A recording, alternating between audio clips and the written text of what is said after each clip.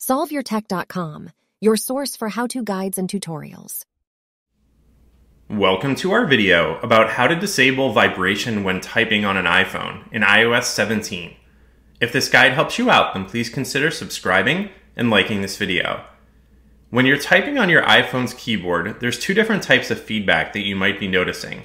The first is a sound that you hear when you type certain letters if your phone's not in silent mode, and there's also a haptic feedback that you can feel when you're typing those letters. But if you don't like either of these options, then you have the option to turn them off. You can do this by opening the Settings app.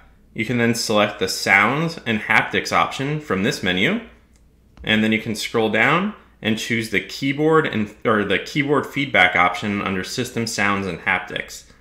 Now, if you just want to turn off the vibration for when you're typing, then you can tap the button to the right of haptic to turn that off, and if you'd also like to disable the sound when you're typing, then you can tap the button to the right of that to turn that off as well.